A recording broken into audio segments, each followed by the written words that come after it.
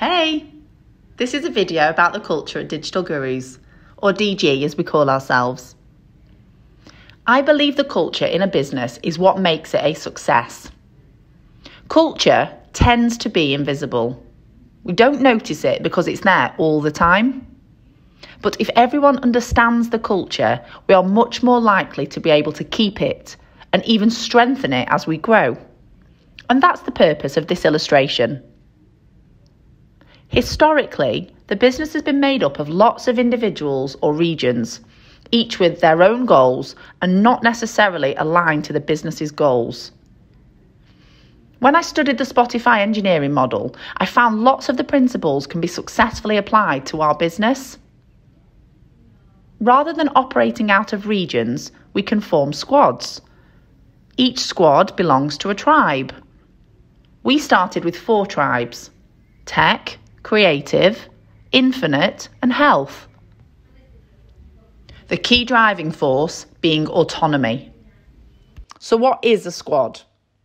Well, a squad is an autonomous, self organising team that specialises in one area within your tribe. For example, Cloud would sit in the tech tribe. They have end to end responsibility for what they deliver. Each squad has a long term mission such as make DG the go to agency in product. Autonomy means the squad decides how and when they do their work, who they work with, and how to work together. Of course, the squad missions must all still align to the overall strategy, but some of the shorter term goals can be renegotiated, say every quarter. Our offices will be optimised for collaboration. Squad members work closely together either on projects or planning. There are lots of different spaces for ideas and knowledge sharing, and lots of open space for huddles to keep continuous communication. So, why is autonomy so important? Well, it's motivating, and motivated people deliver better quality work.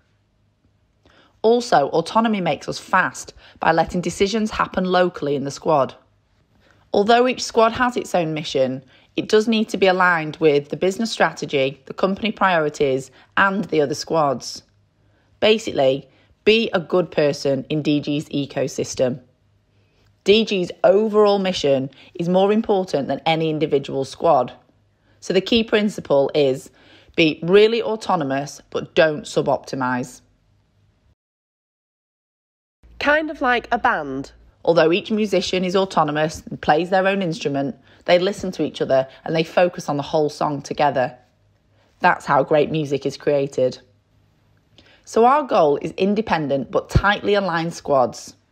We're not there yet, but we do experiment a lot with different ways of getting closer. This culture description is a mix of what we are today and what we're trying to become in the future. Alignment and autonomy may seem like different ends of the scale, and more autonomy equals less alignment. However, we think of it more like two different dimensions.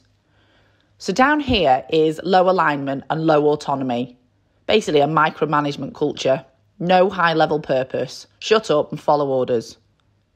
Up here is high alignment but still low autonomy. So, leaders are good at communicating what the problems are that need to be solved, but then they also tell the consultants how to solve them. Now, up here is high alignment and high autonomy, which means leaders focus on what problems there are to solve, but also they let the teams focus on the how. Down here, low alignment and high autonomy, which basically means teams do whatever they want and they all run in different directions. Leaders are helpless and our service offering will be inconsistent. We're trying really hard to be up here, aligned autonomy. The stronger alignment we have, the more autonomy we can afford to grant. This means it's the leader's job to communicate what the business goals and objectives are and the why.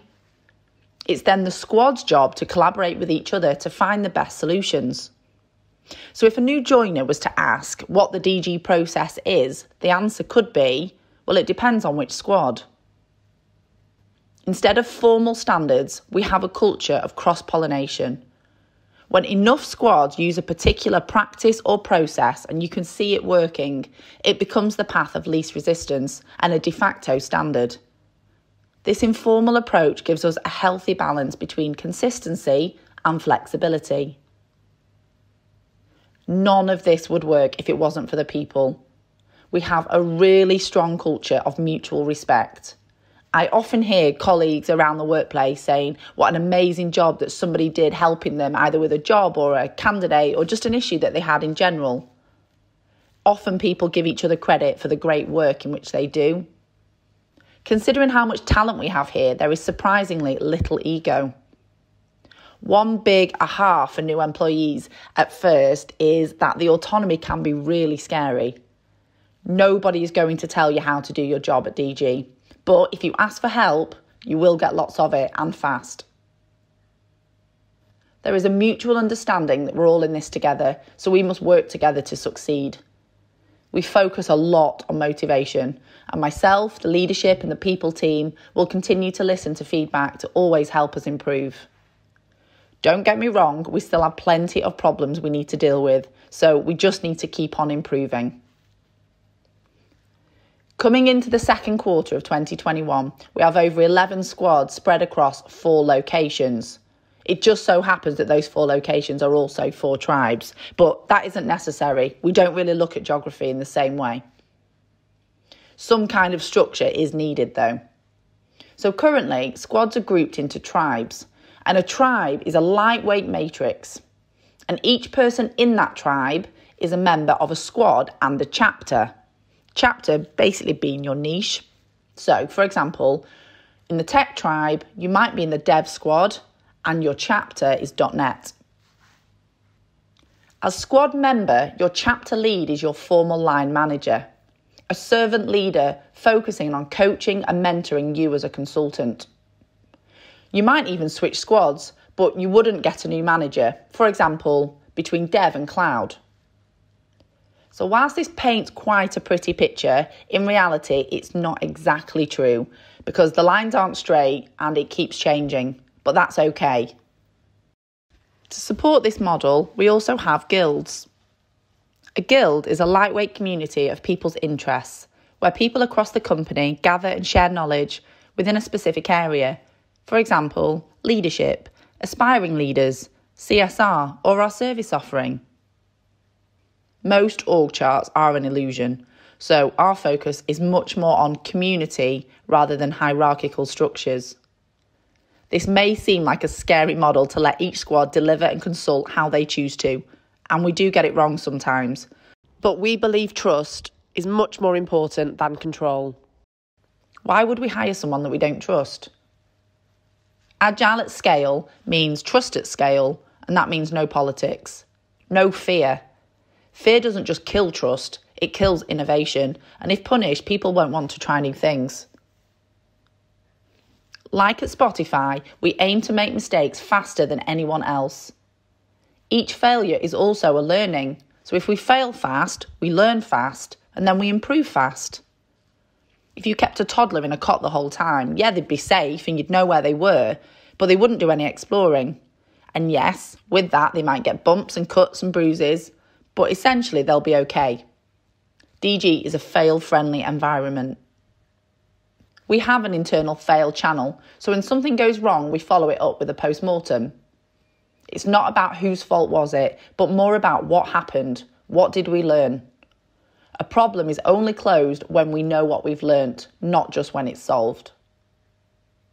All squads do retrospectives every Friday, so we can share information about what's working well and what we can improve next. DG has a strong culture of continuous improvement, driven from below and supported from above. Mario Andretti puts it nicely if you're in full control, you're going too slow. An amazing new idea always starts with a person and a spark of inspiration, but it will only become real if people are allowed to play around and try new things. So, we encourage everyone to spend 10% of their week learning or exploring whatever they like. Has this worked for us? Well, people are natural innovators, so I want to get out of their way and give them time to try things out. If they choose to take it or not, that's entirely up to them. but as you can see, we have an experiment friendly culture. Should we engage with an external trainer? I don't know. So let's choose a few to compare. We'll try it out and make a decision. We introduced something called Tech Tuesdays. It worked for a few weeks, but then it faded out, and that's okay. Instead of arguing an issue to death, we talk about it. What do we want to achieve? What did we learn? And what will we try next? This gives us data driven decisions and less opinion driven, ego driven, or authority driven decisions. Although we are happy to experiment, we are still lean. So if we try something that doesn't work, we stop doing it quickly. If it works, keep it. If it doesn't, dump it. For example, keep retrospectives, one to ones, skip Tech Tuesdays or useless meetings. One of our biggest challenges is growth pain. As we grow, we risk falling into chaos, but if we overcompensate and add too much structure and process, then we risk bureaucracy, and that's even worse. So the key question is what is the minimum viable bureaucracy? The least amount of structure and process that we can get away with where we can avoid total chaos. Both sides cause waste, but in different ways, so a waste repellent culture and an agile mindset helps us to stay balanced. I could list a lot of our pain points and challenges, but it would go out of date very quickly. And often a seemingly brilliant solution today can cause a nasty new problem tomorrow. We're growing and everything will be different. But the truth is, problems are short lived because this company is pretty good at working on and solving problems. And that's the key point. Healthy culture heals broken process. Since culture is so important, we put a lot of effort into strengthening it. And this video is just one small example. No one person owns culture, but we do have quite a lot of people focusing on it. A people team, a leadership team, SMEs and buddies. Mainly though, Culture spreads through relationships and storytelling, whether it happens on a call, in a weekly retro, at lunch. We encourage our people to get to know everyone in the business.